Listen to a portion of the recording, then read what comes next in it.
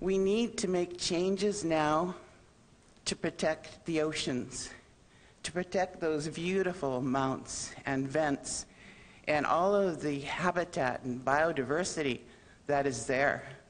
There are many spiritual places there. With concerns over Pacific wild salmon being on the decline, overfishing of other species, and pollution, a new marine protection agreement was signed.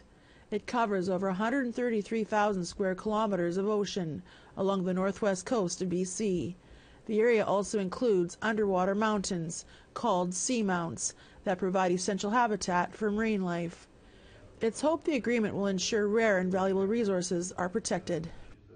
For those who may not be aware, warm water is released from fissures in the Earth's crust to form hydrothermal vents, and the areas surrounding these vents are incredibly productive ecologically and home to unique deep water species like tube worms and deep water clams, which have adapted to these higher temperatures and harsh conditions.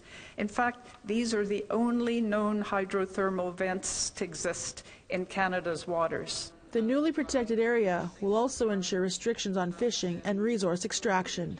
Once this proposed MPA is fully designated under the Oceans Act, the protections put in place will extend beyond fishing and forbids activities like oil and gas drilling, deep sea mining, and other activities subject to strict MPA protection standards.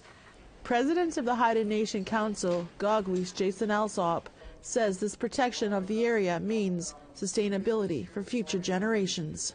Um, for our people, uh, protecting this area is about keeping our way of life and being able, as ocean people, and being able to sustain ourselves and our communities with the bounty of the sea and all the food that's provided for us from the ocean.